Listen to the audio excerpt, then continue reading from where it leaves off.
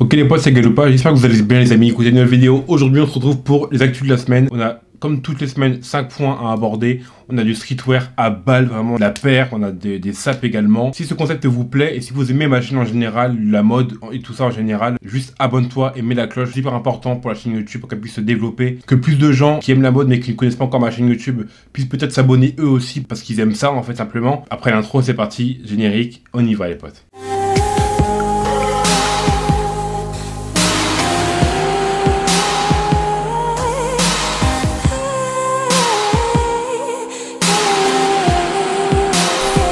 On commence dès maintenant avec Sean Weatherspoon avec du très lourd les potes. Une actu qui est pas forcément super réjouissante puisque Sean Weatherspoon, pour ceux qui ne connaissent pas en fait, c'est le créateur du shop euh, Run 2, donc des plusieurs shops Run 2 qui sont dans le monde entier, au Japon, à Los Angeles, etc. Voilà. C'est un petit gars en fait qui a commencé à collectionner les vêtements de seconde main euh, à Richmond en Virginie en 2013. À force de collectionner, bah, sa collection ça a grandi. La demande avec, voilà, forcément, parce que bah, les gens sont grave à l'affût de ce que tu vas pouvoir diguer, sortir comme pièces, etc.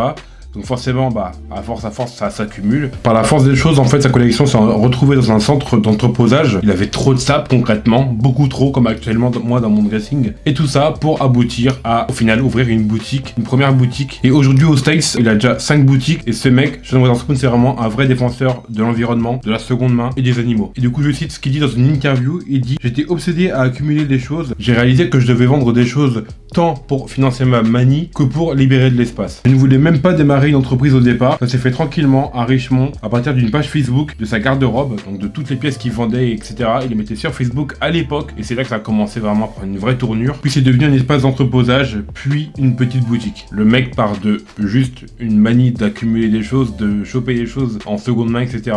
Et en fait, ça en a fait aujourd'hui un vrai, vrai business. Vraiment, ceux qui connaissent un peu la street culture et tout ça sont vraiment des shops en fait qui sont grave connus. En fait, ils sont au Japon, au Etc. Enfin voilà, le mec est trop chaud. Et en clair, en fait, One Two c'est vraiment son bébé, c'est son enfant, c'est lui qui a mis ça sur pied, c'est lui créateur, c'est son petit bébé quoi. Et si j'en parle cette semaine, c'est parce qu'en fait, il a mis sur Instagram et sur le Instagram de la boutique, des plusieurs boutiques, euh, des images en fait de, de pillage de ces boutiques là. Vraiment des années et des années et des années d'accumulation de produits hype de plus en plus euh, précis, de plus en plus rares. En fait, ça s'est passé au moment des manifs euh, pour George Floyd, donc contre le racisme, etc. Des personnes ont profité de cette manif pour aller saccager les shops, enfin casser tout ce qui était à casser et entrer dans les shops, vraiment du pillage quoi. Donc entrer, prendre de la valeur marchande et se casser en courant. Le mec, il a fait ça depuis des années et des années. Le mec, il s'est fondé, il s'est forgé tout seul, il a commencé à créer un business archi rentable pour lui. Bah c'est bien, tu vois, c'est un business. Donc le but c'est qu'il mange, tu vois. Et, et se dire que à cause du manif, euh, bah, toutes les sapes en fait vintage euh, super euh, rares et tout ça qui coûtent des fortunes, qui du coup nourrissent son shop, son business, tout ça.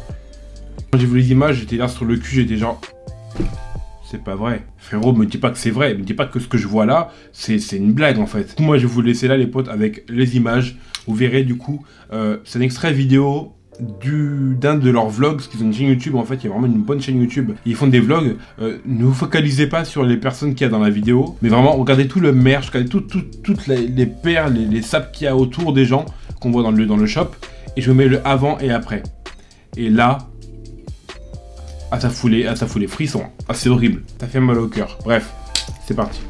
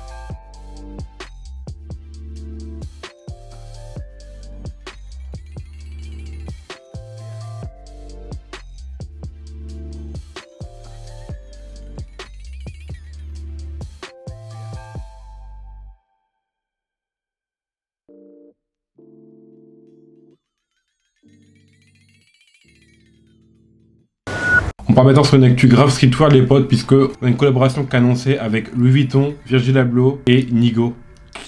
Pour ceux qui ne connaissent pas Nigo, Virgil Abloh vous connaissez je pense maintenant, faut pas non plus, voilà, Off-White, avant ça Pyrex, voilà. Bien évidemment il a collaboré avec Nike pour Nike Off-White, ça vous savez également je pense. Et maintenant il est directeur artistique de Louis Vuitton et toujours de, de sa marque Off-White. Et en fait Nigo c'est le cofondateur de BBC, Billionaire Boys Club. Il a créé la marque Human Made également. Il a créé la marque Ice Cream également. Et également Bape. du coup, en décembre 2019, on a une collaboration qui est annoncée avec Monsieur Virgil Abloh, voilà, avec Louis Vuitton et Nigo pour faire une collection, voilà, un premier volet d'une collection très peu streetwear du coup, mais qui part du justement du streetwear et qui se dirige sur un côté un peu plus dandy britannique, tu vois, plus le tailoring, tout ce qui est costume et même sur mesure. Pas mal de pièces avec le célèbre damier donc de Louis Vuitton, carreau 1 sur 2, hein, vous connaissez les bails. Également une provenance japonaise de Nigo pour euh, la toile japonaise au niveau de denim, c'est super connu au niveau de la mode, au niveau des, matières. La toile japonaise est une très belle toile de denim qui,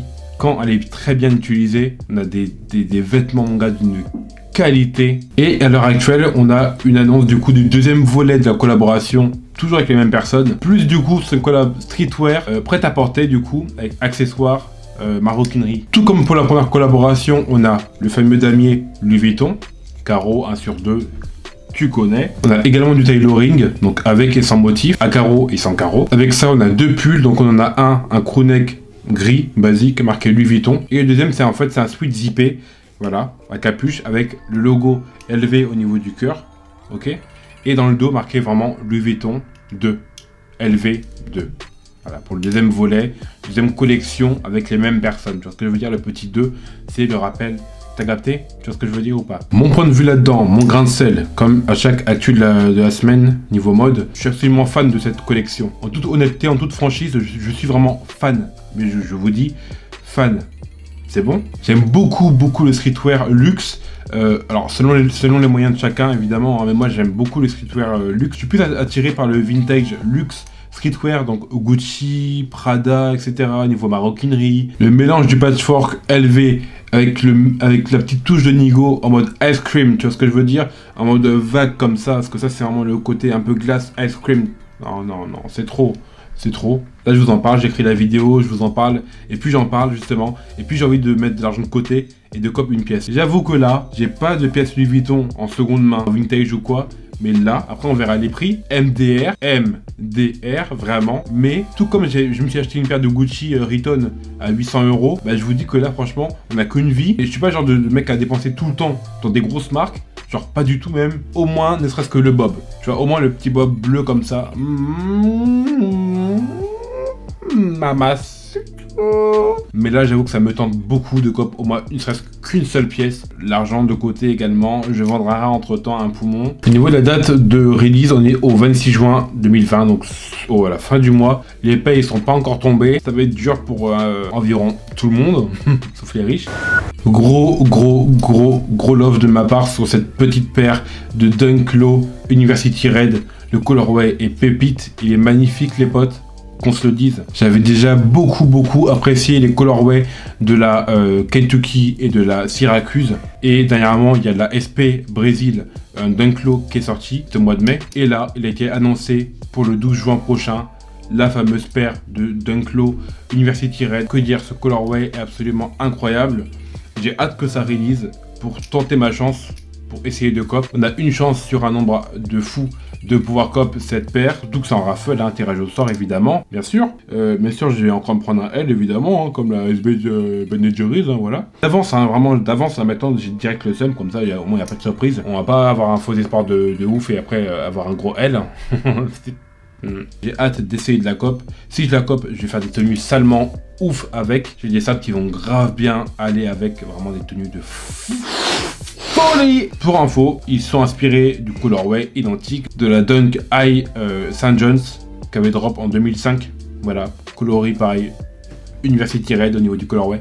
Donc, seulement Nike SB, ils font des paires de dingue. La paire, comme toutes les SB quasiment, sortira à 100 euros. Le prix d'une Air Force One pour des paires aussi belles. AJ4 Off-White Sale, pareil, c'est une dinguerie une pépite. Cette paire est folle, absolument folle. On la voit partout en ce moment sur Instagram parce qu'elle était de plus en plus teasée. Et là, en plus de ça, qu'elle a été teasée, maintenant on a une date de sortie validée à 100%. Ça sera normalement pour le 25 juillet prochain. Comment vous dire, la paire est absolument canon. D'accord, le coloris beige comme ça, beige crème. Sur la paire, on a uniquement deux touches de noir. C'est sur la languette avec le Jumpman et le fameux, entre guillemets, hair de Off-White. Voilà, sa petite griffe en fait qui met sur toutes ses paires. La midsole est blanche pour une petite touche comme ça de lumière sur la paire là qui éclaircit la, la semelle euh, midsole, outsole, etc. Franchement, c'est beau, c'est un petit détail, c'est blanc, c'est heureux parce que maintenant il y a la date qui a été annoncée. On a 100% de chance de se prendre un L, évidemment, comme toutes les paires hype, hein. de toute façon, même moins hype. Coloris un peu incroyable, concrètement. Beige comme ça, hein, pour les TC1. Et en fait, c'est une release euh, GS Est-ce que le sum est présent sur mon visage, sur mon faciès, sur ma personne Oui, j'ai le sum. 200 euros pour la paire. C'est le prix d'une Jordan 4. Il y a une collab dessus avec Off-White, mais le, prix reste le même. Tant mieux, hein, j'ai envie de te dire, tant mieux. Dites-moi en commentaire, pour vous, c'est un cop ou un drop pour la paire de Off-White euh, AJ4. Et on termine les potes avec le Graal, le summum de, de cette vidéo aujourd'hui.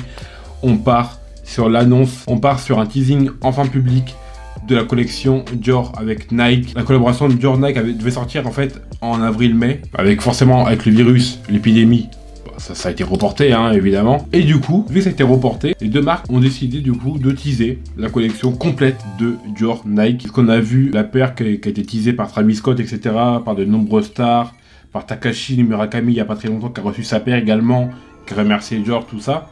Et Monsieur Kim Jones. Les deux marques se sont dit, allez, été reporté, les gens ont envie de voir maintenant de quoi ça de quoi il en retourne, donc on va teaser entièrement la collection. Et effectivement, il y a des belles choses il y a des belles choses. J'ai noté que sur les couleurs, on allait être sur des couleurs dites froides, donc puisque bleu marine, bleu ciel, blanc et du gris avec le logo de base Air Jordan qu'on trouve sur les paires de AJ1 par exemple, remodifié et transformé en Air Dior. On a du coup un ensemble de survêtements gris avec la veste et le short, un crewneck bleu ciel, un gilet col V bleu marine et un short de basketball assorti. Pour ou contre le col V, moi personnellement le col V je valide. Bizarrement, les gens qui disent ouais le col V c'est l'enfer, machin, c'est has-been, c'est terminé, machin. Là, c'est la collection de genre, on n'entend plus ces personnes-là parler. Dès d'un coup, c'est une collection, euh, une collaboration euh, assez hype et tout. D'un coup, ah non, non, non, col V, moi je valide. Alors qu'il y a deux ans, tu disais que c'était de la merde. Enfin bref. Ah frérot, les retournements de veste comme ça, plus vite qu'un ninja, c'est bon. Col V, oui ou non Vous me dites. On a aussi une chemise Oxford immaculé, donc blanc immaculé, blanc de blanc, ok c'est blanc, blanc, blanc, ainsi qu'un t-shirt en coton blanc. Il vient se compléter à ça un bandeau anti-transpiration, donc parce que de base, Jordan c'est pour le basket, donc on rappelle le basket, hein, ok, n'oublie pas. Euh, petit bandeau qui se met au niveau du, soit du poignet pour s'essuyer le front, ou soit au niveau du, du bras, comme ça, en mode euh, comme ça, tu vois, ou alors le poignet comme ça, directement, comme les tennisman, comme les basketteurs, etc. On a un porte-carte en cuir, une paire de chaussettes, une cravate, ou encore une pochette de voyage pour mettre un petit nécessaire euh, de voyage pour euh, dans l'avion, les AirPods, les machins, les trucs. Malheureusement, on n'a pas encore les prix sur la collaboration, on n'a pas encore tout ça. Évidemment, vous savez, très bien que pour ceux qui sont au courant, qui se renseignent, vous savez que la collaboration Nike Dior sur la Jordan, ça va être 2000 euros retail. Il n'y aura pas beaucoup d'exemplaires au monde, ça va être très tendu. Donc voilà les potes. Du coup les potes c'est la fin de la vidéo, j'espère que la vidéo vous aura plu les amis. Si vous aimez qui je suis, ma personne, euh, mon travail sur YouTube, mon, la mode, tout ça que je vous apporte, pense à t'abonner, à liker la vidéo également pour que la vidéo soit le maximum vue. S'abonner à une chaîne YouTube c'est totalement gratuit, c'est pas payant, ça ne coûte rien de le faire. Sur ce les petits potes, je vous embrasse fort, l'amour en balle comme d'habitude c'est important. Gros bisous. Mercredi, vidéo bonus sur des saps suprêmes. Et à part ça, dimanche prochain, évidemment, pour une vidéo hebdomadaire chaque semaine. Voilà, mon pote. Allez. Ciao et bon week-end.